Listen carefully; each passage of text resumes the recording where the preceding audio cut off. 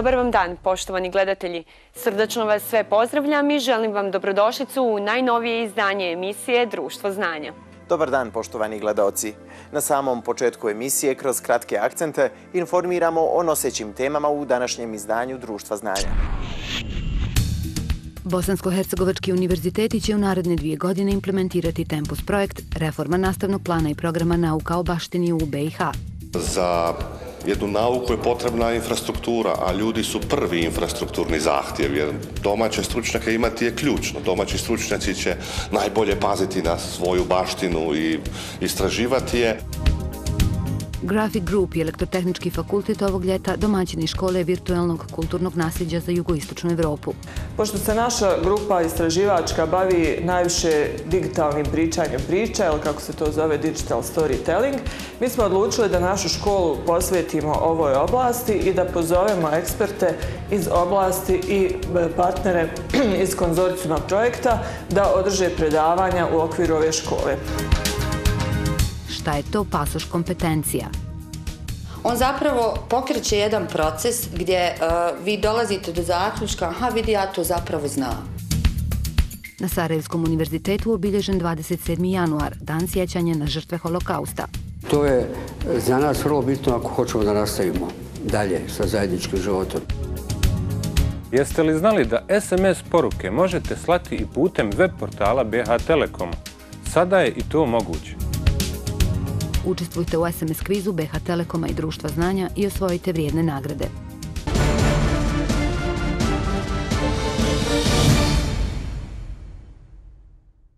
Identitet zajednice, izraz bogatstva i raznolikosti kultura, razvoj društva, sve se to mjeri odnosom prema baštini. Ona je nezamjenjiv svjedok prošlosti, fizički ostatak koji je važan podsjetnik na to od kuda smo došli, ko smo i ko želimo biti. Upravo ova spoznaja ideja je vodilja Tempus projekta pod nazivom Reforma nastavnog plana i programa nauka o baštini u Bosni i Hercegovini, koji će u naredne dvije godine biti implementiran na tri bosansko-hercegovačka univerziteta. Različitost kulturnog nasljeđa u svijetu u kojem živimo nezamjenjiv je izvor duhovnog bogatstva čovečanstva – Njegova bitna karakteristika zasniva se upravo na bogatstvu različitosti i suprotnosti kultura i civilizacija kojemu svojim preplitanjem daju specifičan značaj. Ovo bogatstvo što čini duhovnu i materijalnu osnovu postojanja naroda i društva potrebno je pažljivo čuvati kao nešto što će jednog dana naši potomci čuvati kao baštinu svojih predaka. Uz duhovnu komponentu kulturne baštine Materijalna kulturna baština nastajala je i trajala kao ekonomska komponenta, kao životna potreba utemeljena na razvoju u kojem su nastajali vrijedni arhivski dokumenti. Vrhunska umjetnička dijela kao ukrasi prostora primjerice samo su simbol ekonomske snage. Kulturna baština, dakle, oduvijek ima i ekonomsku sastavnicu. Ona je usto također sastavnica kulturnog identiteta na lokalnoj razini ili na razini modernih država. Međutim, dosadašnja iskustva pokazuju da su mnogi objekti baštine u Bosni i Hercegovini još uvijek nezaštićeni, odnosno da propadaju jer je i razina svijesti građana o važnosti baštine za društvo još uvijek relativno niska. Tempus projekt pod nazivom Reforma nastavnog plana i programa nauka o baštini u Bosni i Hercegovini, skraćeno BIHERIT, jedan je od načina uspostavljanja novih, boljih obrazovnih mjera i aktivnosti kojima će se postići informiranost, ali i znanje. Jedan od glavnih inicijatora za implementaciju ovog projekta na Bosansko-Hercegovačke univerzitete je profesor dr. Predrag Novaković, profesor arheologije na Ljubljanskom univerzitetu i sekretar Asocijacije evropskih arheologa. Već tamo od 5-6 godina arheolozi, profesori, istraživači koji su se bavili arheologijom u Bosni i Hercegovini su naravno osjetili potrebu da se pomogne i domaća arheologiji koja je imala naravno posljedice zbog rata, zbog ekonomske situacije i krize se to odražavalo u malom groju stručnjaka. A pošto nije postojao studij arheologije u Bosni i Hercegovini ni u prijašnjoj državi Jugoslaviji, nekako je to bilo normalno da se od toga počne, jer e, za jednu nauku je potrebna infrastruktura, a ljudi su prvi infrastrukturni zahtjev, jer domaće stručnjake imati je ključno. Domaći stručnjaci će najbolje paziti na svoju baštinu i istraživati je. I tu smo onda uskočili sa našim iskustvom, mrežama, poznanstvima, znanjem da pomognemo da se konačno uspije u dobivanju sredstava i evo sad smo sa ekipa ljudi iz univerziteta iz Cambridgea, Beča, Berlina, Ljubljane, Kopra i domaće institucije smo uspjeli da oformimo jednu dosta uspješnu aplikaciju koja sad omogućava da uspostavimo jedan tako uslove za moderni studij i razvoj toga. Reforma programa primijenit će se na master studiji arheologije na Univerzitetu u Sarajevu, te na bachelor i master studije iz oblasti historije na univerzitetima u Sarajevu, Banja Luci i Tuzli, gdje bi se predstavili moduli iz oblasti baštine, arheologije, historije umjetnosti, očuvanje, odnosno konzerviranje i studije o muzejima. Naš univerzitet je koordinator ovog projekta i jedan je od 108 eh, tih eh, izabranih tempus eh, projekata za 2012. godinu. Eh, zemlja kao što je Bosna i Hercegovina jako bogata tim arheološkim nalazištima, eh, istorijskim spomenicima i burnim dešavanjima koje treba jedan studi, dobar studijski program kako bi se sve to istražilo, sačuvalo, čime se jeli, i na kraju dokazuje sama državnost ove zemlje. I upravo zbog toga ideja je bila dakle, partnera iz Evropske unije i partnera iz Bosne i Hercegovine da se ta modernizacija uradi. Pored osnivanja master studija i predstavljanja novog modula baština, ovim projektom se nastoji obezbijediti i novi obučeni kader, koji će nakon završetka projekta preuzeti aktivnost za održivost projekta. Danas je prvi sastanak na kojem ćemo e, dogovoriti o daljem programu rada za naredne godinu i po dan, to je dve godine učešća na Tempus projektu, na kojem ćemo se potruditi na, da omogućimo e, što veći broj fonda časova predmeta arheologije, istorije umjetnosti, e, nauke o zaštiti kulturne baštine, kako bi probudili svijest mladih ljudi, svi koji su vezani direktno ili indirektno za te predmete na našem području, ne bili na taj način e, pomogli tim naukama da se razviju u što mogućem, e, u što većem obimu, da bi zainteresovali nove generacije, da bi pokazali koliko je to bitno ne samo za razvoj kulture, nauke i kulture u našoj zemlji, nego i za osnovni razvoj i budućih generacija, naravno i ovih starijih. Reforma nastavnog plana i programa nauka o baštini u Bosni i Hercegovini obezbjeđuje i kvalitetnu arheološku opremu, ažuriranu biblioteku, stvaranje mreže između univerzitetskih institucija u Bosni i Hercegovini sa partnerskim institucijama u Evropskoj uniji. Osim tri bosansko-hercegovačka univerziteta, partneri u projektu su i univerziteti u Ljubljani, Primorskoj i Beču, Institut za arheološka istraživanja McDonald u Cambridgeu, Slobodni univerzitet u Berlinu, Muzej Republike Srpske i Komisija za očuvanje nacionalnih spomenika Bosne i Hercegovine. I u nastavku emisije govorimo o kulturnom nasljeđu. Naime, Sarajevo Graphics Group sa Elektrotehničkog fakulteta već godinama radi na virtualnoj prezentaciji objekata kulturnog nasljeđa i virtualnim muzejima sa posebnim fokusom na digitalni storytelling. Ovog ljeta Graphics Group i Elektrotehnički fakultet bit će domaćini škole virtuelnog kulturnog nasljeđa za jugoistočnu Evropu pod nazivom Digitalni storytelling za virtuelne muzeje. Dugogodišnji rad istraživača sa Elektrotehničkog fakulteta u Sarajevu okupljenih u Sarajevo Graphics Group prepoznali su najviši evropski autoriteti iz oblasti virtualnog kulturnog nasljeđa, te odgovornost organiziranja prve škole virtualnog kulturnog nasljeđa za jugoistočnu Evropu pripalo upravo Elektrotehničkom fakultetu. Ja mogu reći da je to nastavak aktivnosti Elektrotehničkog fakulteta u domenu digitalizacije kulturne baštine. Zajedno sa BH Telekom Elektrotehnički fakultet je još 2008. godine pokrenuo prvi međunarodni simpozij o digitalizaciji kulturne baštine. Mi očekujemo da će to biti još jedan dodatni korak da mi pokažemo da možemo i da smo spremni se uhvatiti u korak sa onim što, da kažem, u razvijenim zemljama već duže vrijeme radi. Jer oni su davno, da kažem, se opredijelili za tu totalnu digitalizaciju biblioteka, kulturnih, drugih sadržaja i tako dalje. Ideja tih škola je da svaka škola ima drugu temu, znači da tematizira drugu problematiku iz oblasti virtualnog kulturnog nasljeđa i to onu problematiku kojom se bavi institucija domaćina. Pošto se naša grupa istraživačka bavi najviše digitalnim pričanjem priča, ili kako se to zove digital storytelling, mi smo odlučili da našu školu posvetimo ovoj oblasti i da pozovemo eksperte iz oblasti i e, partnere iz konzorcijuma projekta da održe predavanja u okviru ove škole. Docentica Selma Rizvić ističe da su predavači eminentni stručnjaci sa institucija partnera u projektu vmast.net, Must Net, te da imaju bogato iskustvo u ovoj oblasti, naglašivši da će u okviru škole polaznici pratiti predavanje o principima digital storytellinga, prezentacije o projektima koje su razvile VMASTNet institucije i raditi na kreiranju digitalnih priča na bazi zadatog scenarija.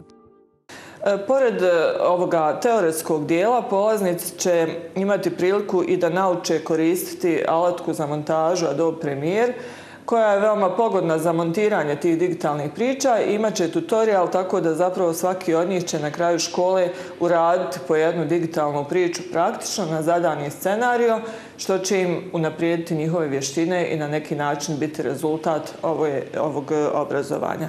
I na kraju kad se sve završi, mi ćemo im podijeliti certifikate i imat ćemo jedan field trip u Mostar gdje će oni malo obići muzej Hercegovine i pogledati tamo kulturno nasljeđe iz Hercegovine. Škola virtualnog kulturnog nasljeđa za jugoistočnu Evropu održat će se od 24. do 28. juna 2013. godine. Namjenjena je profesionalcima iz oblasti kulturnog nasljeđa, kustosima muzeja, arheolozima, radnicima koji rade u institucijama za zaštitu kulturnog nasljeđa, kao i studentima. Svi zainteresirani se mogu prijaviti putem web stranice vmas.net.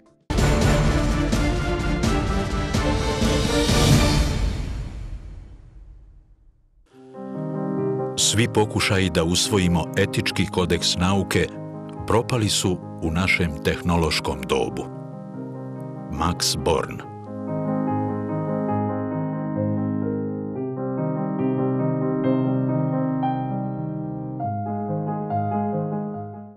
Cijeloživotno učenje je svuda i sve prisutno. U Bosni i Hercegovini tek je posljednjih godina zaživjela ideja o jačanju svijesti o potrebi obrazovanja odraslih – Veliku podršku na tom putu našoj zemlji pruža njemačka vlada kroz organizaciju za međunarodnu suradnju GIZ. U Bosni i Hercegovini GIZ je prisutan od 1995. godine s posebnim fokusom na projekte koji doprinose održivom ekonomskom razvoju, demokratskim procesima i razvoju civilnog društva. Među njima je i projekt obrazovanja odraslih i uvođenja pasoša kompetencija, pojma koji je već poznat u evropskim zemljama. Pasoš kompetencija predstavlja sistem za identificiranje, preciziranje i dokumentiranje kompetencija stečenih na najrazličitije načine.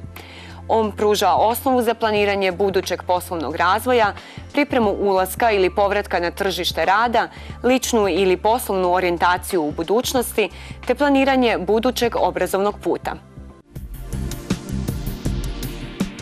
Projekt Podrška obrazovanju odraslih u Bosni i Hercegovini pokrenut je 1. januara 2011. godine, a provodi se na području Banja Lučke i Sarajevske makroekonomske regije te u Zeničko-Dobojskom kantonu. Projekt je finansijski podržan od strane Njemačkog ministarstva za ekonomiju i razvoj i Švicarske agencije za razvoj i saradnju. The project um, has as a goal to strengthen the adult education, non-formal education system here in the country with the aim to address or to reduce the mismatch between training and between the job market. Currently, people are trained for areas which there are no jobs available, and where there are jobs available, there isn't always training available. And that's the mismatch that we're addressing. Even though they may not be, have the formal qualifications, people have a lot of skills that they've acquired during their lives through different ways, some through education, some through experience. And it's this passus competencius that forms a key element of the work that we're doing because what we want to do in the end is to raise the importance of skills and competencies in the labor market and reduce the overemphasis or focus on formal qualifications. Projekt se realizuje u šest radnih linija i to naknadno sticanje osnovnog obrazovanja, usavršavanje i obrazovanje, karijerno savjetovanje, certificiranje informalno stečenih kompetencija, profesionalno obrazovanje odraslih te promocija obrazovanja odraslih. unutar radne linije projekta certificiranja informalno stečenih kompetencija jeste i pasoš kompetencija. Ta radna linija projekta e, funkcioniše pod motom ja mogu mnogo više nego što znam. I to otprilike ovaj, daje neki uvid u, u cijelu ovu priču, a radi se o tome da mi kroz taj instrument, kroz pasoš kompetencija, koji je u stvari proširena biografija, pokušavamo kroz proces samorefleksije uh, izdefinisati vještine, kompetencije, talente, sposobnosti, znanja, koje su nekako same po sebi razumljive, pa i samim tim jako često zanemarujemo. E sad u tom procesu samorefleksije koje krajnji korisnik prolazi sa savjetnikom, gdje on zapravo razmišlja o svom djelovanju kroz različita životna polja, bili to hobiji, e, život u porodici, volonterski rad, rad na poslu ili u nekim posebnim, pa reći ću i, i kriznim životnim situacijama, Eh, razmišlja o svom djelovanju, uz pomoć savjetnika zapiše to svoje djelovanje i eh, formuliše koje su mu sve vještine i znanja bili potrebni da on napravi to uspješnim, on zapravo pokreće jedan proces gdje eh, vi dolazite do zaključka, aha vidi ja to zapravo znam. To opet pokreće druge duboko sežnije procese, jer vi kad ste svjesni svog znanja i svoje vještine, vještine mnogo lakše se pozicionirate na tržištu rada. Mnogo lakše se namećete poslodavcu, mnogo lakše nastupate sa prezentacijom tih svojih sposobnosti. Prva faza projekta usmjerena je na pomoć najugroženijim kategorijama stanovništva, osobama u stanju socijalne potrebe i nezaposlenim licima. Njima će uz pomoć savjetnika iz institucija poput službi za zapošljavanje i centara za socijalni rad, pasoš kompetencija poslužiti kao odličan instrument za pripremu ulaska ili povratka na tržište rada, ličnu ili poslovnu orijentaciju u budućnosti, te planiranje budućeg obrazovnog puta. Pa sam e, alat koji se naziva pasoš kompetencije je jedna vrlo inovativna stvar, znači stvar gdje je moguće od nezaposlenih osoba izvući određene momente koji ni oni nisu svjesni, koji su potrebi za tržište rada, kako za njihovu vlastitu nadogradnju, tako i za sam proces tržišta rada. Tako da sam pasoš kompetenciju uveliko pomaže u jednom savjetodavnom radu, eh, u jednoj motivirajućoj eh, odnosu prema nezaposlenoj osobi. Mislim da je jedan poseban instrument, posebno u radu s osobama koji nakon jednog dužeg vremena um, ostaju bez posla i zapravo nisu svjesni svega onog što su on naučili u tih nekih deseta godina i jednostavno nisu spremni za tržište rada. Jedan takav primjer može biti osoba koja ima 30 godina srednju školu završen, 10 godina rada u nekoj firmi koja jako puno stvari zapravo zna, nije i svjesna i nužno ide na zavod za zapošljavanje i ne zna gdje da konkurše i šta da radi. Tu dolazi pasoš kompetencija koji mi izvlačimo zapravo one vještine koje osoba nauči još nekad u srednjoj školi, pa za vrijeme rada, pa kroz porodcu i negdje možemo zajedno sa osobom da dođemo do onog za šta je ona spremna, šta ona može i da ga jednostavno motiviramo da ide dalje. Definisanje i vrednovanje informalno stečenih kompetencija omogućava bolju sistematizaciju radnih mjesta, povećava iskoristivost radne snage i jača svijest o sobstvenim kvalitetima, što može direktno uticati na izbor buduće karijere ili jasno odrediti potrebnu vrstu usavršavanja. Pasoš kompetencija će krajnim korisnicima biti besplatno ponuđen u septembru ove godine.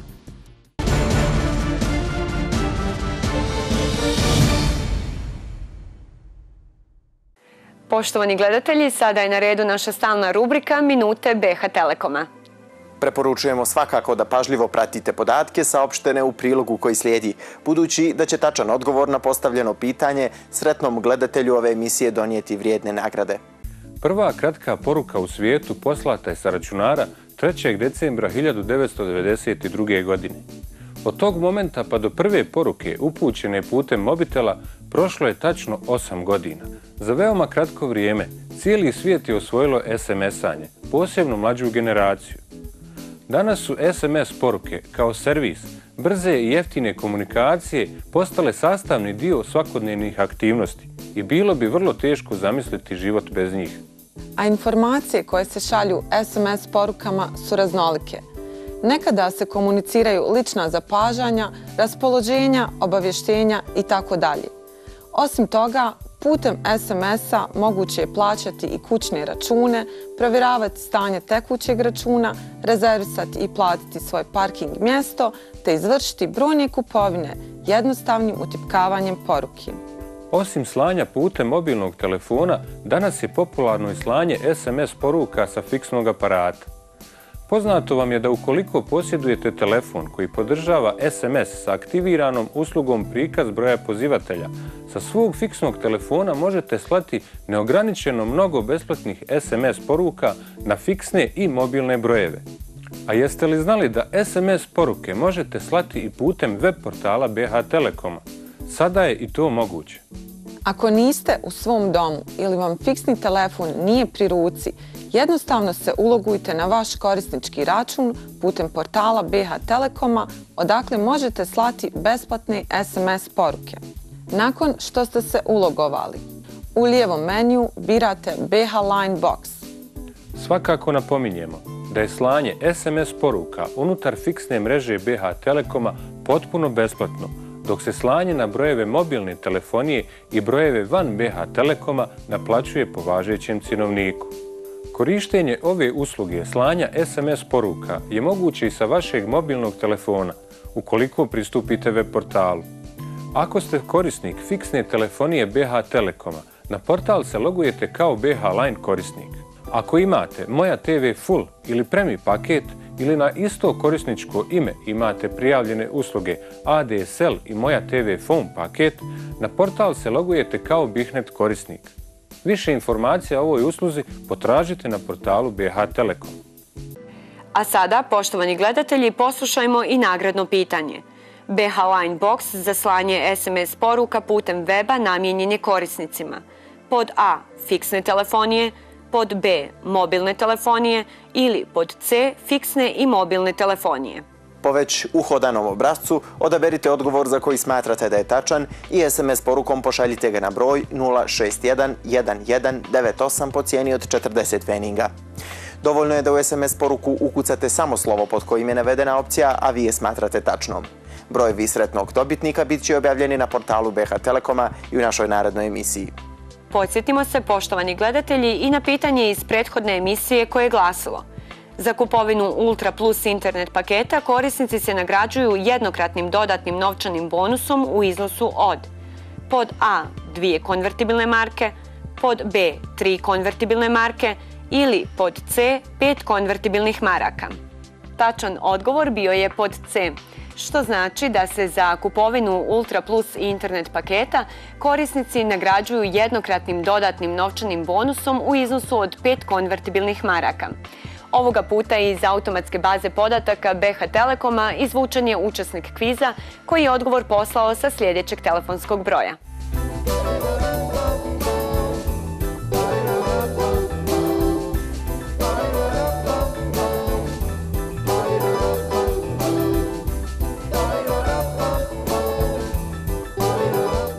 Taj sretni gledatelj dobio je ovaj telefon sa pratećim Ultrastart paketom. Dobitnici mogu preuzeti nagrade svakog radnog dana od 8 do 15 sati u prostorijama BH Telekoma u Sarajevu u ulici Bulevar Meše Selimovića broj 18, a informirati se mogu putem telefona 033 473 362 ili e-maila informatoret.bhtelekom.ba.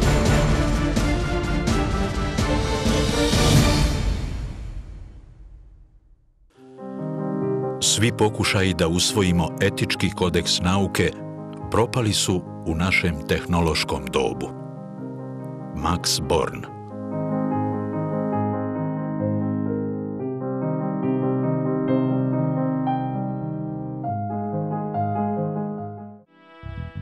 Cijela ljudska historija je obilježena zločinima, od onih pojedinačnih protiv čovječnosti i međunarodnog prava, preko genocida kao organiziranog zločina potpunog ili djelomičnog uništenja narodne, etničke, rasne ili vjerske skupine ljudi, do holokausta, kao specifičnog projekta Hitlerovske Njemačke, koji je bio usmjeren na eksterminaciju židovskog naroda kao takvog. Generalna skupština Ujedinjenih nacija 2005. godine posebnom je rezolucijom ustanovila Dan sjećanja na žrtve holokausta, koji se od tada obilježava svakog 27. januara, na dan kada je sovjetska armija 1945. oslobodila najozloglašeniji nacistički logor Auschwitz-Birkenau. U povodu obilježavanja ovog dana minule sedmice, Univerzitet u Sarajevu i Institut za istraživanje zločina protiv čovičnosti i međunarodnog prava organizirali su javnu tribinu o temi Sjećanje na žrtve holokausta. Mi smo u posljednje vrijeme, zahvaljujući vrlo teškim i mučnim lekcijama iz povijesti, naučili da sjećanje nije dovoljno. Da obrazovne institucije, kada je riječ o najtežim zločinima, kakvi su zločini protiv čovječnosti, prije svega genocid i holokaust, trebaju imati i nešto što se zove istraživački aspekt, upoznavanje sa nečim što su konstitucionalni faktori koji omogućavaju nastanak takvih zločina. Dugo je vladalo mišljenje pa evo i na ovim prostorima, da je u stvari sa fašizmom praktično gotovo i da je to stvar prošlosti, da je to neki povijesni eksces. Međutim, mogli smo se osvjedočiti da za pripremu zločina mogu učestvovati čak i vrhunski učenjaci, da mjesto kreiranja zločina mogu biti čak i visokoškolske institucije, da ideolozi mogu biti vrlo ugledni ljudi. Prema tome, zadaća istraživanja uzroka zločina, a ne tek samo sjećanja na protekle zločine, jeste ono što obavezuje ovo i danas, između ostalog i Sarajevski univerzitet. Na tribini su govorili istraživači, uposlenici Instituta za istraživanje zločina protiv čovečnosti i međunarodnog prava Univerziteta u Sarajevu, a po prvi put govorilo se i o holokaustu u Sarajevu. Magistar Elias Tauber naglasio je da je holokaust na prostorima Bosne i Hercegovine započet antisemitskom propagandom, a nastavljao se kroz zakonske odredbe. Istraživanja su pokazala da je da je, da je to veoma rafinirana provedba zakona koji su normalno bili preslikani zakoni iz Njemačke, potpuno isti rasni zakoni, antisemitski zakoni koji su doveli do prije svega obespravljenja jevreja kao ljudski bića, zatim oduzimanje i otimanje jevrejske imovine, što je uglavnom bio i glavni cilj postavljanja svega. Posto toga slijedi ono što je na kraju, to je odvođenje u logor i stradanje u logorima. A, međutim, ovaj dio prvi koji je e, važniji dio, kako je došlo do toga da su jevreji stradali u logorima, dosta da nije baš puno pričano. To je za nas vrlo bitno ako hoćemo da nastavimo dalje sa zajedničkim životom. Ne da, kako se to kaže, da upoznamo drugog, da shvatimo strahote holokaust, strahote šta znači biti izopćen iz društva zato što pripada samo jednom narodu ili samo jednoj religiji. Obilježavanje dana sjećanja na žrtve holokausta ima historijsku važnost za cijelo čovečanstvo. Sjećanje na univerzalne lekcije holokausta, zločina koji je čovečanstvu nanio ogromne ljudske i materijalne žrtve, ne može biti prepušteno prošlosti i zaboravu, poručili su učesnici tribine cijeloj bosansko-hercegovačkoj javnosti.